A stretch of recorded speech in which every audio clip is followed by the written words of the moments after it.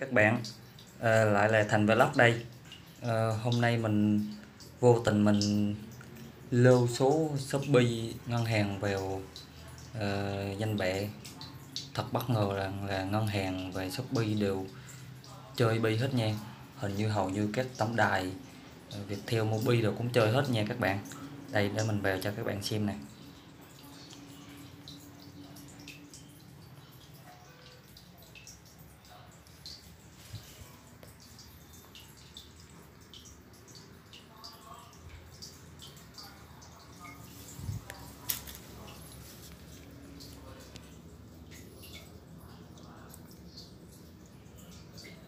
mạng nó hơi len xíu.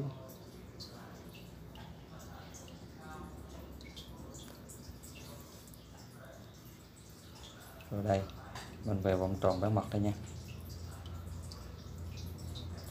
Thêm từ danh bệ nha. Đây các bạn thấy không? Mình thử mình lưu số shopee với ngân hàng Vietcombank không ngờ cũng chơi bi thời tới rồi các bạn à có thể đổ ra tiền thiệt. Rồi nha các bạn.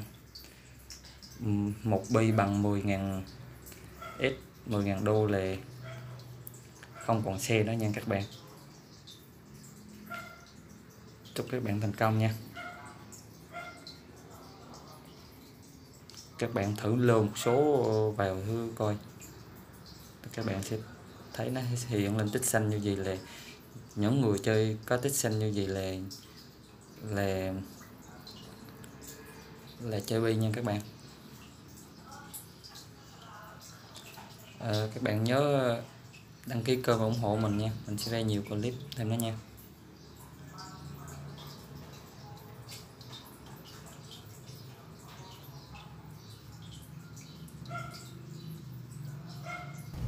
Xin chào và hẹn gặp lại các bạn trong chương trình lần sau nha. Các bạn nhớ đăng ký kênh ủng hộ mình nha. Tiếp gì một like và một đăng ký kênh nha.